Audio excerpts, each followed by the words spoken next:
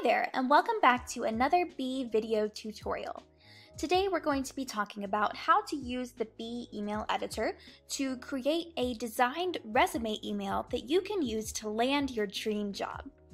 You're probably used to writing a plain text email and attaching your resume as a PDF, but sending a designed email with your resume can really help your application stand out.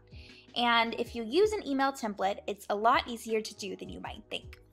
Before we get started with the tutorial, if you don't have a Bee Pro account, you'll want to go ahead and upgrade so you can access the full capabilities of the email editor. So you can grab a free two-week trial of Bee Pro at the link in the description of this video.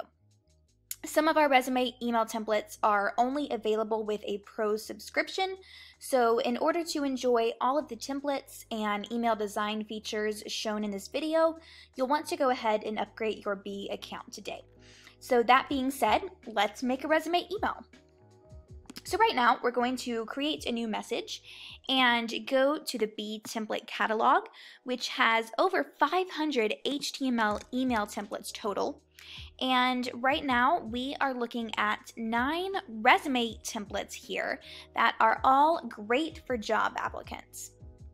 So we're going to go ahead and choose this one, which is titled Web Designer CV, and go ahead and open this email up in the Bee email editor.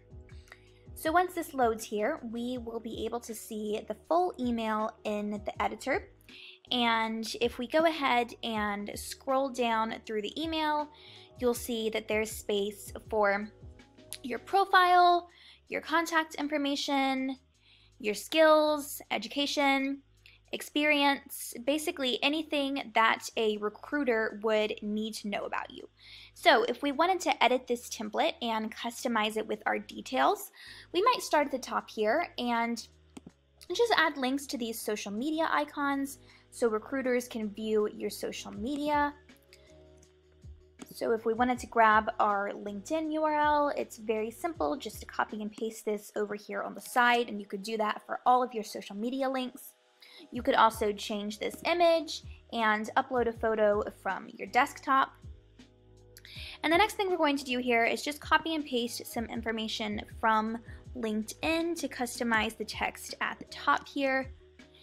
And just go ahead and drop that in to replace this text. Just save yourself some time um, if you have that information on LinkedIn so you don't have to type it out all over again and just go ahead and bring that over. And we can also type directly onto the template. So for example, if you wanted to change the contact information here, we could do that, change the size of the text if you would like to. And if there's a section that you don't want, you can delete that entire row, or you can type directly onto the header and create a whole new section.